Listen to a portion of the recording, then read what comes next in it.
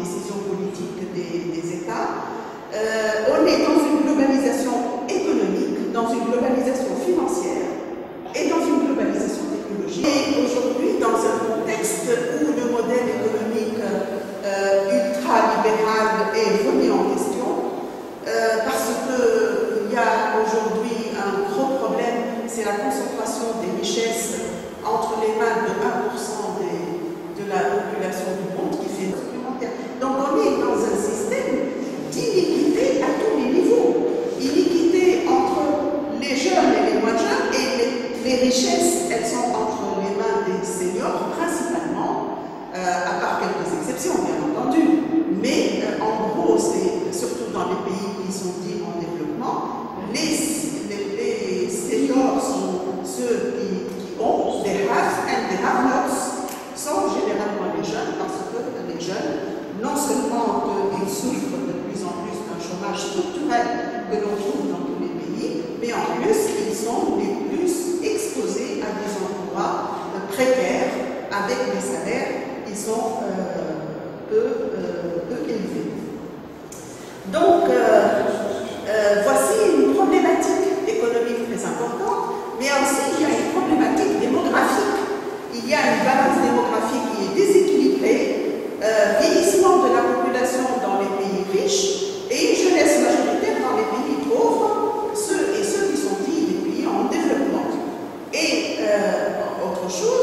ce ne sont plus.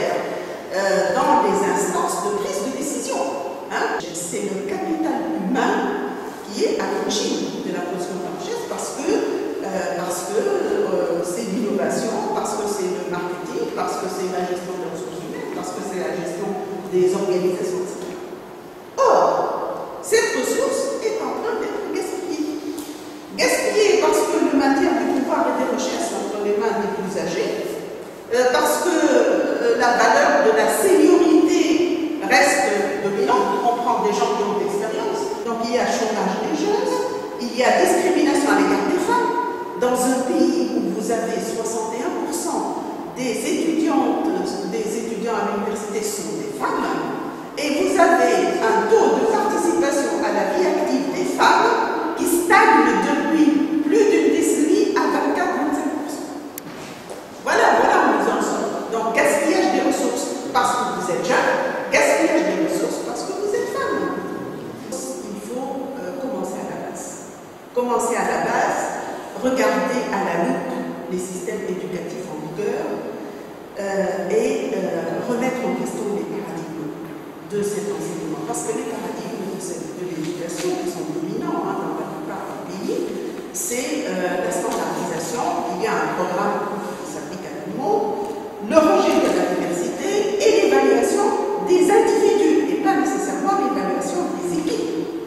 uh,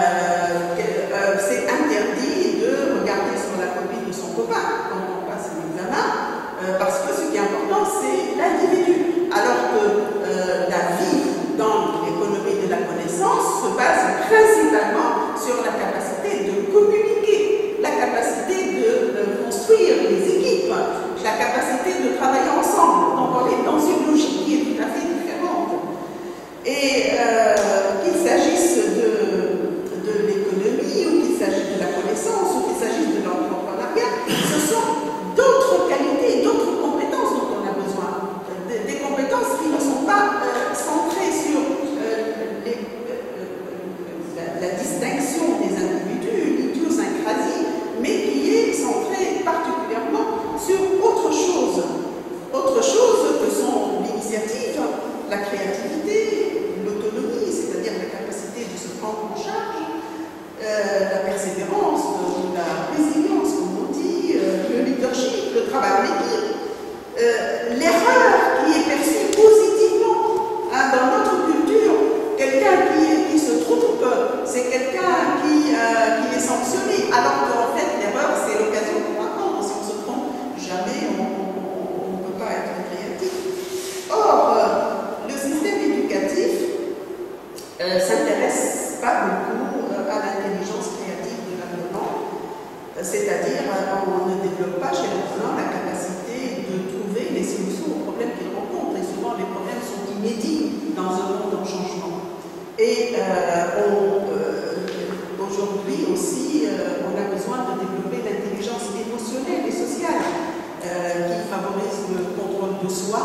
et qui favorise également la capacité de collaborer avec les autres au plus positif. Alors, comment jeter les ponts entre les générations?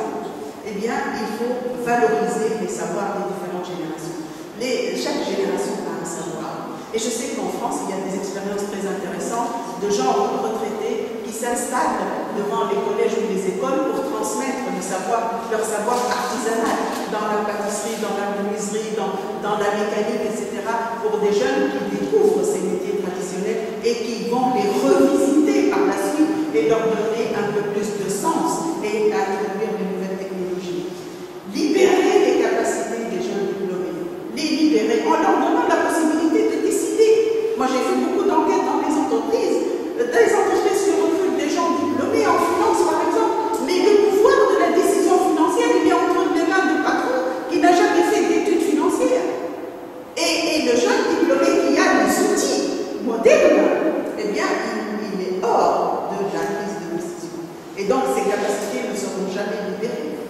puisqu'elle aura été euh, sollicitée. Reconnaître les métiers traditionnels et les rajouter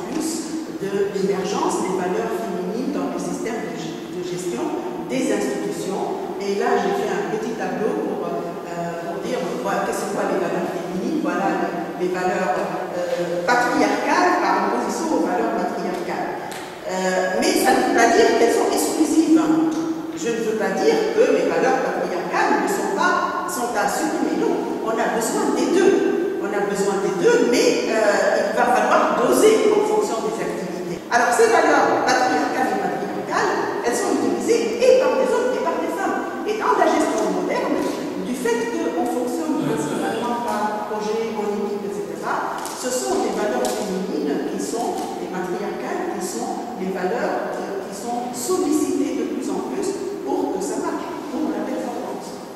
Voilà donc, euh, mesdames et messieurs, ce que j'ai voulu partager avec vous. J'espère que ça va stimuler le débat hein, et, euh, et je vous remercie de votre attention. Des jeunes, on va parler surtout de ceux qui n'ont pas d'emploi et qui cherchent un emploi. Moi, j'appelle ça des chercheurs d'emploi.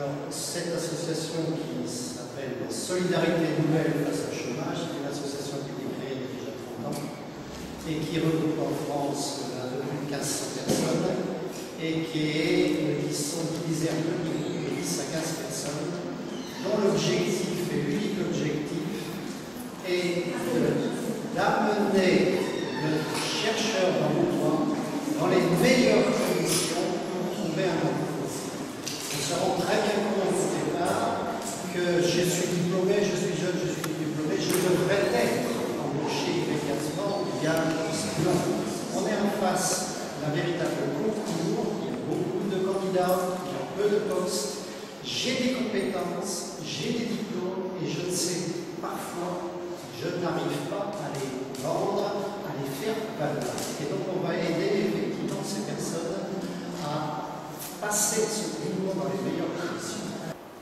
Comment fonctionne l'association? Quelles sont les particularités de cette association? La, première et la plus importante, c'est qu'on on on travaille en binôme. En d'autres termes, vous avez deux accompagnateurs, on appelle ça des accompagnateurs, qui vont être ensemble pour accompagner ce chercheur. Pourquoi un binôme Parce que d'abord à trois, on travaille mieux, on réfléchit mieux qu'à deux. À trois, on a on peut ensuite échanger ensemble sur ce que l'on a vu, ce que l'on a senti. À trois, on est plus à l'aise pour pouvoir, dans des, dans des difficultés, retrouver une solution à tel ou tel problème. On est formé. C'est important d'avoir et d'expliquer effectivement à l'accompagnateur comment on amène ce jeune, ce jeune à, trouver du travail. Donc on a Bien évidemment, une formation sur le fonctionnement de l'association elle-même, ce que je suis en train de, de vous expliquer. On a un, un, des formations sur le travail en binôme, c'est facile à travailler en binôme. Et puis, on a aussi des techniques de recherche de Je suis très, très intéressé par ça. Beaucoup de, personnes ne se connaissent mal ou connaissent mal leurs compétences et s'appuient uniquement sur leur diplôme. Et on a des outils, des jeux qu'on peut mettre en place avec la personne pour qu'elle se connaisse mieux. Sur quoi je vais m'appuyer pour trouver mon travail? Quelles sont les particularités qui, qui, qui sont significatives dans le fonctionnement de cette association. La première, c'est l'écoute. C'est absolument indispensable dans un premier entretien, dans les entretiens avec euh, le chercheur d'emploi, de de ne pas se dire j'ai la solution. C'est ça qu'il faut qu'il fasse. Très souvent, vous pouvez être en face de chercheurs qui jouent leur propre rôle, qui sont des acteurs. Je veux vous montrer sous mon meilleur jeu. Je veux montrer que je suis capable de trouver du travail si vous me donnez une petite Et quand derrière, on creuse, on s'aperçoit qu'il manque de confiance, qu'ils sont annihilés par tel ou tel problème ou que leurs compétences ne sont pas en adéquation avec ce qu'ils sont en train de rechercher. Et là, on a donc un travail d'écoute. On a un travail de parfaite confiance. Il faut avoir être confiant à trois, une confiance globale trois. Ne pas se juger. Dans les on essaye de être le plus convivial possible dans un cadeau, où on fait ça autour d'un dîner, où on met de la, la musique et on, joue d'abord ensemble, et où on essaye de se raconter des, des histoires drôles et d'avoir un petit peu d'humour, parce que c'est pas toujours facile d'aider quelqu'un qui est lui-même dans une situation très difficile. Mon intervention porte sur la notion de l'intergénérationnel telle qu'elle est perçue et vécue par l'association des anciens de la formation professionnelle et de l'emploi. Et au fil des années, nous avons constaté une sorte de désintéressement de l'association par les jeunes ayant cette condition d'ancienneté. Pour comprendre ce phénomène, ou plutôt cette tendance, nous avons mené une enquête auprès des jeunes du secteur.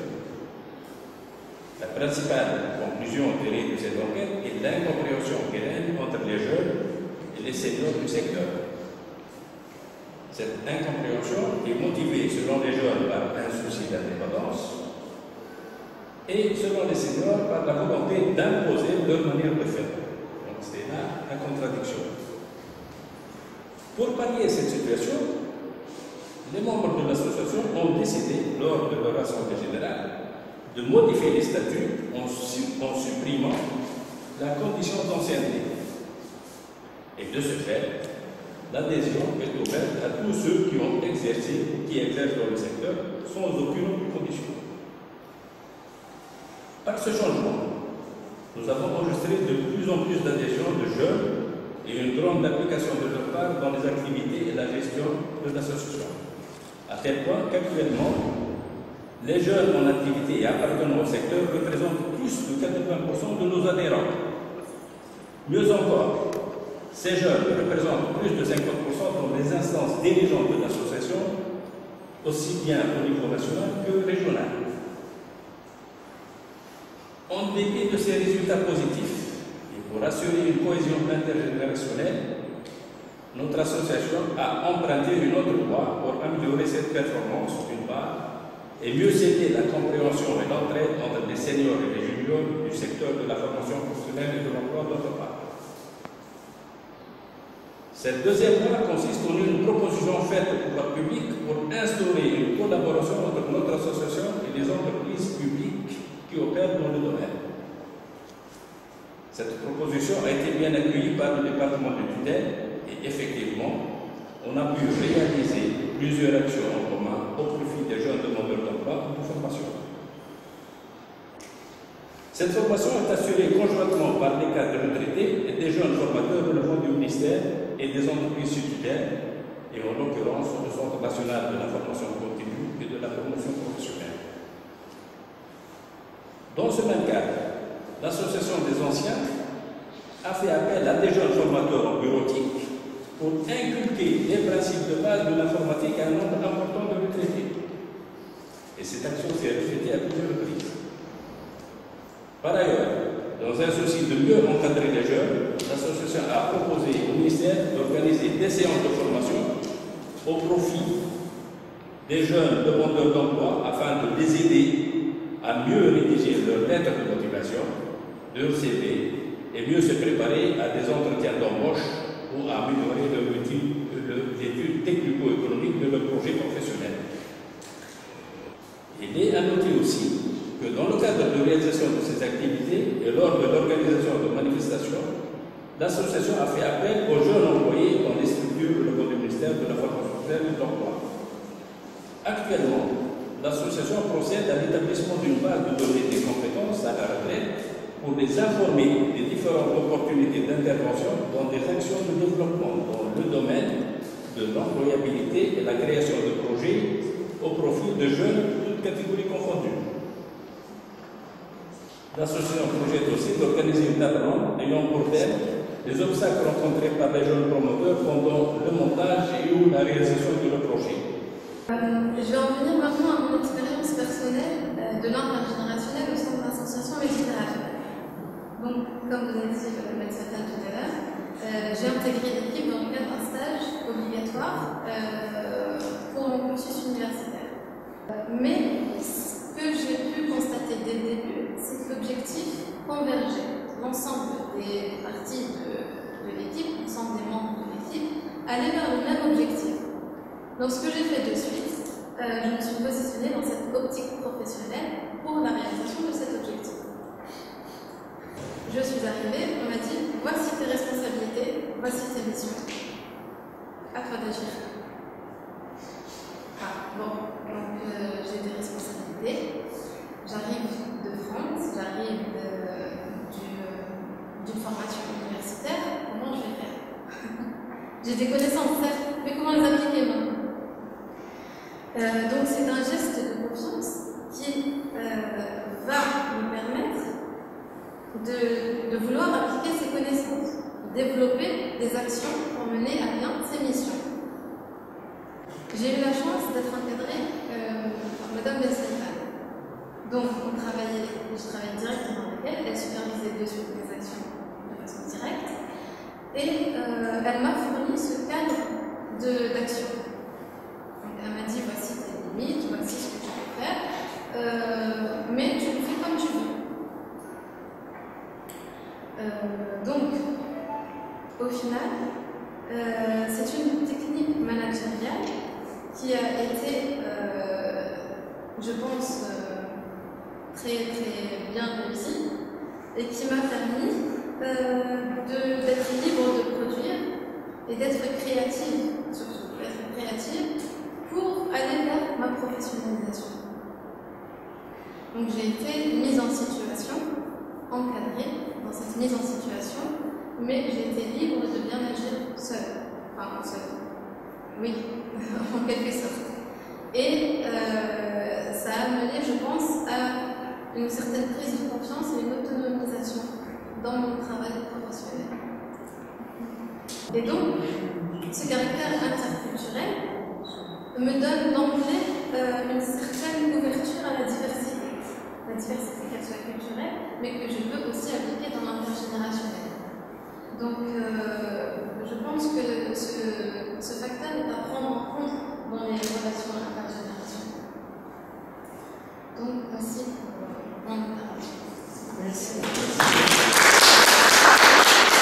Après cette révolution, le secteur associatif a été investi maintenant par énormément de jeunes qui sont devenus chefs de projet, euh, dans des fondations justement internationales parce que tous les, disons, les bailleurs de fonds sont venus s'installer à travers ce secteur pour donner de l'emploi et stimuler quelque part toute cette volonté d'action qu'on a sentie. Effectivement, aujourd'hui, on a compris qu'il n'y avait plus que l'emploi public ou que l'emploi privé, mais peut-être aussi ailleurs une autre piste d'insertion professionnelle, on va dire, c'est peut-être le secteur associatif. Et c'est extrêmement important parce que Méditerranée est en train de travailler énormément sur la professionnalisation de la société civile pour initier un partenariat entre non seulement les différents domaines et les différentes disciplines, mais aussi un partenariat avec les générations. Et je fais partie de cette jeunesse qui qui est toujours un petit peu perdue, euh, qui ne sait pas vraiment euh, qu'est-ce qu'elle a fait, qu'est-ce qui l'a conduit à faire ça et qu'est-ce qu'elle doit faire maintenant. Donc si on veut lancer une dynamique, il faut vraiment commencer à construire et ne pas, ne pas attendre les résultats de ce qu'on est en train de faire dès maintenant. Donc je me suis lancé dans la société civile, on a, on a, fondé une association qui s'appelle Sautier, donc j'ai pu bâtir sur cette expérience que j'ai acquise ici dans le dialogue sud-nord. Ces responsabilités que les jeunes n'ont pas su demander, c'était intéressant comment ils ont pu les avoir après la Révolution à travers la société civile. Et donc ces, jeunes ont eu pour la première fois l'opportunité de se constituer en, groupe de décision, en groupe d'influence. On, a beaucoup de ces, associations qui sont aujourd'hui, euh, pas que la nôtre, mais qui sont aujourd'hui euh, au sein des, euh, des, discussions régulières avec les, avec les, preneurs de décision, les gouvernements, euh, que ce soit dans l'open dans, dans governance, dans la promotion de la transparence à l'échelle régionale, dans beaucoup de projets d'investissement également. Donc ces jeunes-là maintenant sont consultés et disons que le travail, ce qui a été fait pendant la Révolution, il ne faut pas que ce soit juste une euphorie. Je reviens sur l'allégorie de la soirée tout à l'heure. Il ne faut pas que ce soit juste une euphorie, mais il faut, garder toujours un petit peu ce côté de, de l'ivresse et pas attendre qu'on nous donne. Parce que là, justement, c'est des jeunes sont en train de retomber dans cet effet pervers de OK, on a fait, maintenant donnez-nous le fruit de ce qu'on a poté. Non, tu vas quand même cueillir le fruit de ce que tu as récolté. Tu n'attends pas qu'on te donne. J'ai fait tout ce qui est réseau informatique, euh, maintenance informatique, euh, euh, création de, petites applications, même pour les portables. J'ai présenté avec l'utilité de mon projet. L'autofinancement m'a posé un très grand problème. Euh, L'emplacement. Euh, il y aura beaucoup, beaucoup de lois qui, qui, qui, font une menace pour, pour le lanceur de, de projet Pour cela, je m'engage réellement à chercher un boulot, chose. Je pense que la société civile peut, faire beaucoup de choses en impliquant les jeunes. Le meilleur moyen de les préparer, c'est de leur donner des tâches qui euh, les préparent à justement à, à, développer des projets porteurs et non pas des projets qui divisent la société euh, qui est déjà assez divisée. Des projets porteurs, des projets qui euh, sont tournés vers un résultat et je m'arrête là-dessus. Merci. Vous avez remarqué que ce sujet, on l'a entamé, mais qu'est-ce qu'il est Qu'est-ce qu'il demande encore beaucoup de rencontres Et je trouve qu'on a déjà un peu quelques pistes pour euh, continuer à travailler sur cette question. Il y a deux ans à peu près, on a fait venir, euh, on avait tout un, un, travail auprès des femmes en difficulté, euh, en situation de pauvreté, de, avec des enfants, etc., et qui ne savaient plus comment s'en sortir. Et, ce sont des femmes euh, jeunes qui avaient créé leur entreprise, des femmes du Sud, qui sont venues, qui leur ont raconté comment, on, comment elles, avaient, elles, avaient, elles avaient créé leur petite boîte euh, avec le microcrédit, euh, comment elles se débrouillaient pour s'occuper aussi de, de, leurs enfants. Et, et, bien, quand elles sont reparties dans leur pays, euh, les, les, autres, c'est la première, c'est la première fois après pas mal de mois d'accompagnement qu'elles sont dit, ben, si elles, elles s'en sortent, on ne va pas baisser les bras. Je parlais de, de, de, du jeune, je vous ai entendu, parce que ce n'est pas que euh, c'est un cri de douleur, c'est une blessure. Et ça, il faut que ça se gère, parce que ça ne peut être l'aboutissement que des explosions, que des conflits. Et donc, en écoutant, je ne dis pas je donne la parole aux jeunes, je les écoute. Je n'ai pas à donner ou à prendre ou à laisser, mais les écouter. Mais les écouter pour pouvoir les accompagner, pour pouvoir donner ce que j'ai comme expérience afin de pouvoir les aider, de pouvoir les éclairer. Et l'intergénérationnel, c'est ça. Je dirais, je conclue d'abord en remerciant en disant que c'est que le début de quelque chose, que Méditerranée vous est ouverte, tous ceux qui voudraient participer à nos activités marquées, que, enfin, je terminerai par une seule parole, c'est de dire un écrivain africain, quand je te donne ma pomme, tu n'as qu'une pomme. Quand je te donne, tu me donnes ta pomme, je n'ai qu'une pomme. Mais quand tu me donnes ton idée et que je te donne mon idée, nous avons deux idées. C'est simple, c'est du bon sens. Et je vous remercie. Merci.